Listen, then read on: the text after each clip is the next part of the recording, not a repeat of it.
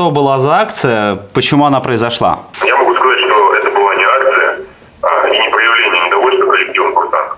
А мы просто а, выразили свое мнение по поводу приказа об отмене долгов погон. А, есть военное правило, которое гласит, а, что приказы сначала выполняют и только потом обсуждают. А, мы выполнили приказ, и теперь мы можем а, только извиниться перед а, Василием Филипповичем. Причина этого поступка – отступление от традиции лишения того, чем мы гордились.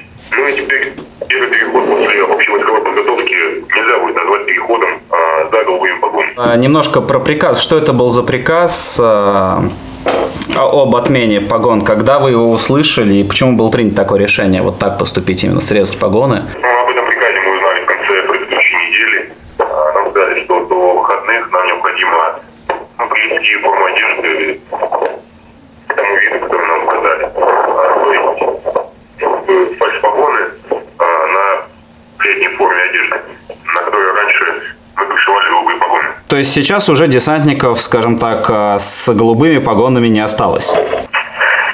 Очень а, много ребят, но по фотографиям было видно, что они что-то писали еще на погонах. Что там было написано и вот почему тоже вот так писали-то? А, Чаще всего на погонах писали цитаты легендарного командующего. Чтобы напомнить, чьей заслугой было введение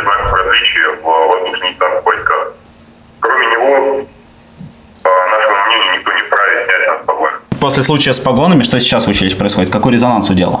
А, училище большинство а, военнослужащих, конечно, поддержало активистов, которые вчера, а, возлагали погоны за память командующего Удова.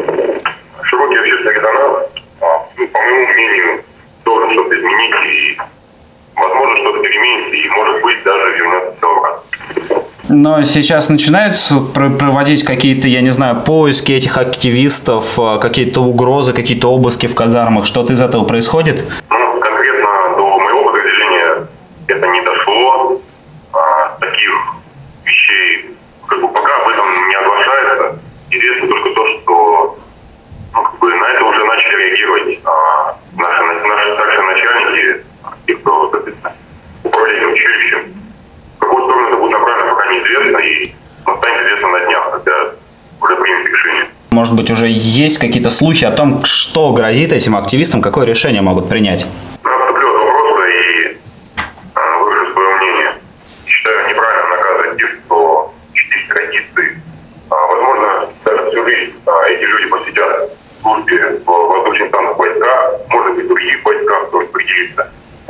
Не в ВДВ.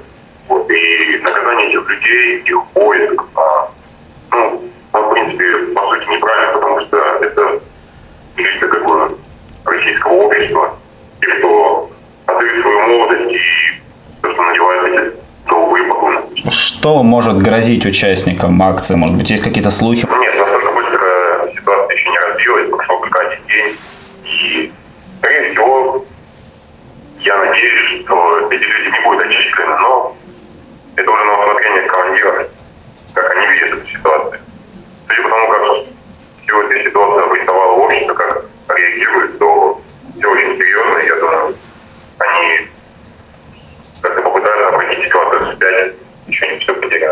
этот приказ об отмене голубых погон, он был какой-то официальный или он прошел как-то внутри, как-то очень тихо? Да, правильно, он прошел внутри училища очень тихо.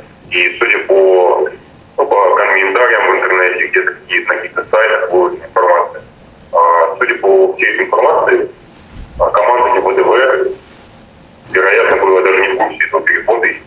Как мне кажется, их хотели поставить вот перед фактом